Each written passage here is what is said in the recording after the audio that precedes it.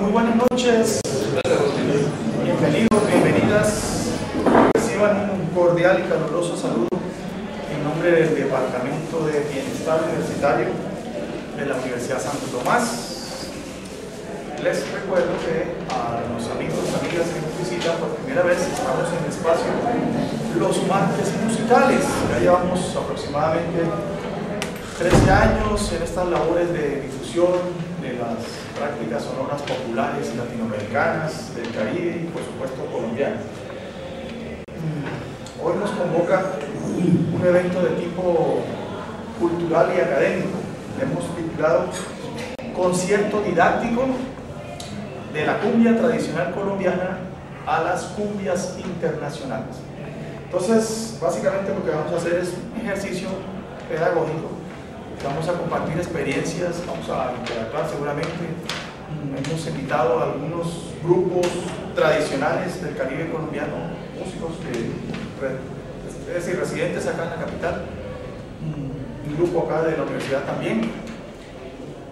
Y pues nada, vamos a hablar acerca de qué es eso de cumbia, tiene vigencia esta música, en qué formato instrumentales, mm, cuándo fue la época de oro de cumbia de salón, etcétera. Todo, hablemos de cumbia y de cumbias en plural porque no hay un solo estilo de cumbia. Bueno, entonces iremos a hablar de organología, de estilos, de cultores, exponentes, eh, de lugares, eh, sitios donde se cultiva. Y he averiguado en algunos libros y con algunos eh, historiadores y nadie me ha podido decir dónde nace la cumbia o cuál fue la primer cumbia colombiana. Muy bien. Ahora yo devuelvo la pregunta al público. ¿Alguien sabe, podría responder esta, este interrogante? ¿Dónde nace la cumbia? Estamos hablando de orígenes. ¿Alguien podría decir algo? ¿Sí? El río Magdalena es aunado o, digamos, articulado con labores de pesca y para acompañar al pescador, obviamente de Barranca hacia debajo. La. Bueno, muy bien. ¿Otra intervención? Eh, la traída de los africanos a ese mismo sector, Río Magdalena, eh, el mar. lógicamente la palabra cumbia proviene de un término africano, cumbe, pero sostienen que, que, también es indígena, sostienen que es africana. Eh, se puede comprobar por, por, los mismos instrumentos, eh, por la gaita, se puede comprobar por, por la caña de millo y se puede comprobar por los tambores. Entonces, hay allí una mezcla, pienso yo, que hay una mezcla eh, para que se dé esa cumbia con la parte indígena y la parte africana, predominando más la parte africana si uno hace un, todo un ejercicio de oír a los indígenas tocando tambores, de oír a los indígenas eh, interpretando estos instrumentos comparado con el africano, hay mucha diferencia. Entonces, pienso que, se da más por el lado africano. Sin embargo, si uno va al África, si uno va a todos estos eh, eh, grupos africano y los oye tocar, uno no encuentra, de pronto dentro de, de, varios golpes encuentra el de cumbia, pero así que uno netamente encuentre el verdadero golpe de la cumbia con el africano tampoco es que se dé. Se puede dar en todo lo que, en todo lo que maneja. Puede aparecer por allá ese golpe eh, eh, rítmico de, de, la cumbia. Muy bien, Entonces, no olvidemos lo siguiente la pregunta es, ¿dónde nace la cumbia? La musicología no establece un nacimiento, digamos, locativo de un género musical, por una simple razón. Las músicas las hacemos los músicos. Entonces, ¿qué son las músicas? Son el resultado, bienvenidos, adelante, adelante, de confluencias e interfluencias multiculturales que dan como resultado nuevas sonoridades. Partimos de eso. Entonces, uno nunca puede, nosotros en la música nunca podemos determinar la hora, el lugar, la fecha de, los nacimientos, de los orígenes de los géneros musicales. Eso no. Porque, Algunos sí. Porque esto es el resultado de un proceso, bueno, de la interfluencia, de la interculturalidad. Estas, estas son músicas, estas son prácticas sonoras mm, que pertenecen a la clasificación de músicas tradicionales orales, lo que anteriormente le llamábamos músicas folclóricas, étnicas, etc. Entonces, en resumen, esto de la cumbia es el resultado de una confluencia multicultural. Los primeros habitantes que hubo aquí, sin duda, fueron los aborígenes. ¿Estamos de acuerdo o no? ¿Qué dejaron los aborígenes a esto que llamamos cumbia? Hagamos un análisis musicológico. Los aerófonos. ¿Qué tipo de aerófonos estamos hablando? Lo que llamamos gaita, gaita larga, gaita ocho ana o suárrados. Y flauta de millo. Probablemente algunos dicen que esto no sea africano, etc. Pero la tendencia es que los aborígenes siempre nos han dejado el idiófono, las maracas. Eso, eso apunta, que en esto no podemos hablar con evidencia porque el pasado de, de las músicas es incierto. Entonces hay hipótesis, teorías, aproximaciones. Entonces, el resultado de esta cumbia que estamos hablando, eh, la región es el Caribe colombiano. No podemos determinar exactamente dónde fue, pero todo apunta que probablemente haya sido en la región del Bolívar Grande, del Gran Bolívar. Podemos decir entonces la respuesta. ¿Dónde nace la cumbia? Dígame. No lo sabemos Ah, todavía. exacto. De acuerdo, nadie sabe. Los orígenes son inciertos. ¿Estamos de acuerdo? Bueno, entonces, ¿alguien quiere decir algo más? Orígenes, caballeros, de la cumbia tradicional. El origen de la cumbia. Sí. La cumbia es colombiana. sí, sí, que no que de, de Barranquilla, que de Soledad, que de, que de Cartagena, que del Banco Magdalena, la cumbia es colombiana. No, pero sí salió en el Caribe. Sí, Pero ¿de qué parte de Colombia?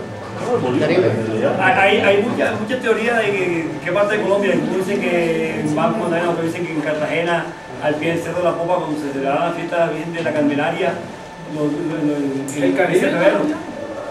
Y creo que es una de las, de las versiones más, más, más aceptadas, acertadas, de que los, los, sí, los, los- los negros esclavos eh, en la fiesta de la Virgen de la Candelaria bajaban a, a la, a la rumba y bailaban, eso también un baile, una- un ritmo triétnico, porque las, las, las esclavas, o sea, las amas de las esclavas las vestían con, con vestidos eh, más, más lujosos, pero la, la sí, teoría de dónde salió, no, Colombia, simplemente, Caribe colombiano.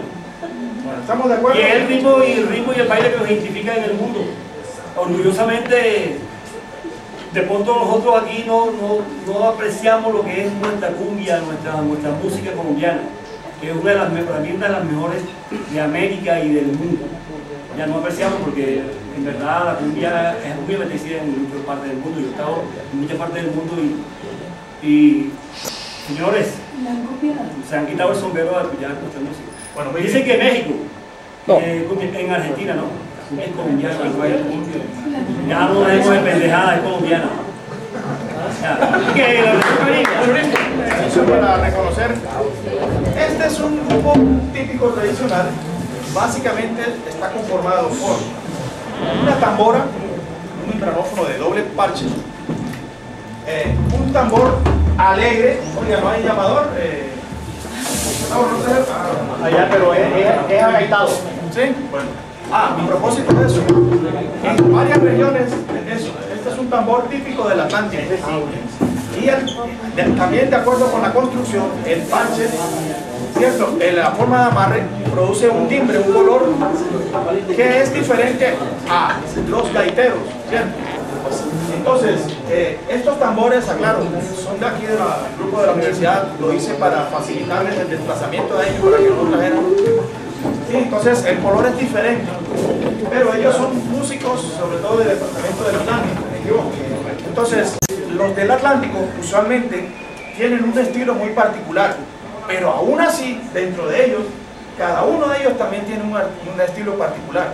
O sea, no es homogéneo, pero tienen rasgos en común. Esta es la flauta de millo, muéstrela. No es fácil tocarla, Instrumento agudo, sí. Aquí vemos la fricción guacho o guache, ¿cierto?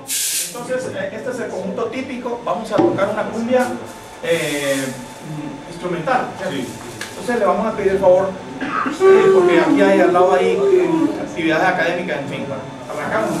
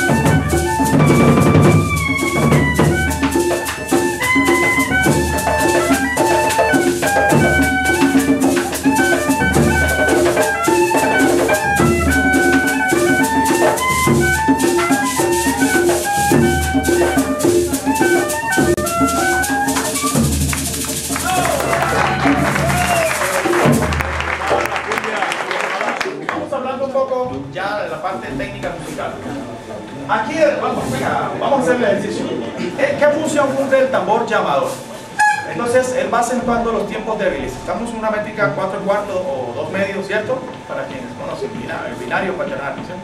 Entonces, yo le voy a contar a él 4 y observen el, el golpe que va a hacer. ¿Listo? 1, 2, 3, 4. Vamos a hacerlo todos.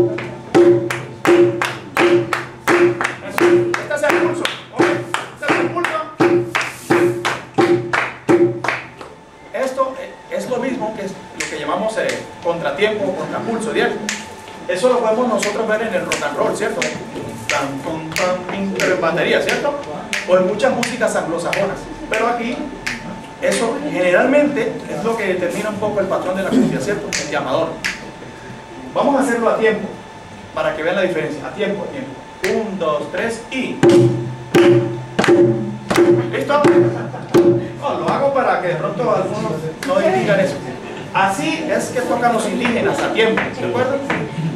Eh, ya un segundito. Entonces, hagámoslo otra vez y vamos sacando conclusiones como es. Un, dos, tres, cuatro. Un. Este es el pulso, ¿cierto? Y él me lleva a la contraria, ¿verdad? Entonces, este es un indicio de que eso no es aborigen, eso, eso es afro. ¿Estamos de acuerdo o no? Porque eso lo vemos nosotros en el rock, en, el, en el- la música afro, afro norteamericana, en la música afrocaribeña, ¿cierto? ¿Estamos de acuerdo?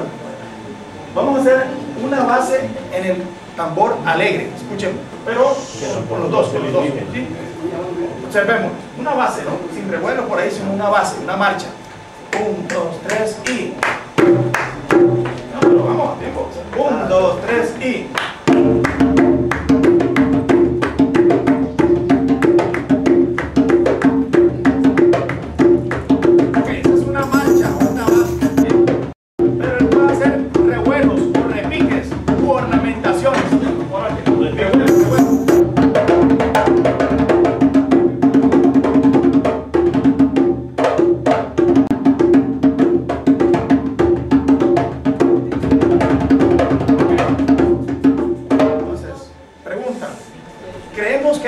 probablemente tenga influencia aborigen, indígena?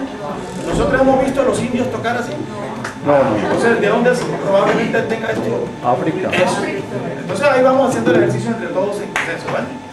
Toquemos el patrón de la tambora. Solo, solo, solo. Entonces va a tocar, él va a tocar paliteo, o sea, Sin sin miedo. parche. Bueno, paliteo, madera o parche. Bueno, un, dos,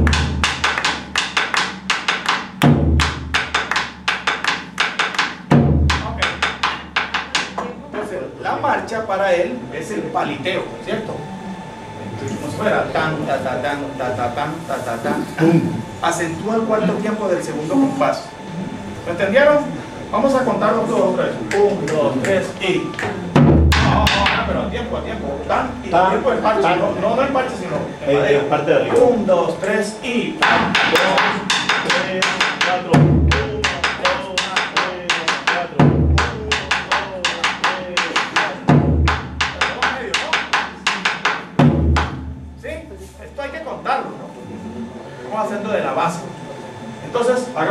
ensamble de los tres. Un, dos, tres y.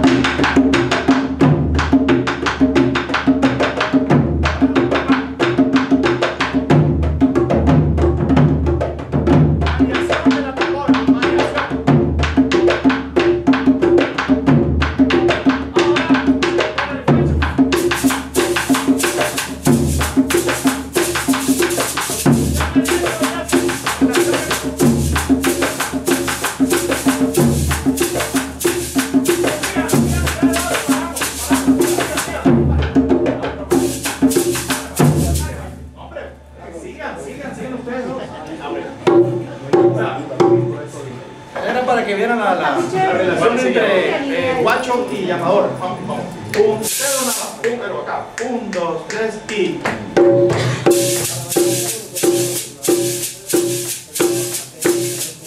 El acento que están haciendo es segunda y cuarta. Bueno.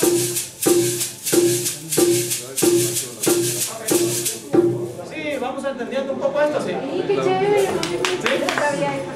Listo, eh, finalmente pues interviene la flauta de millo, que ya es eh, música, melodías eh, pentagónicas, etc.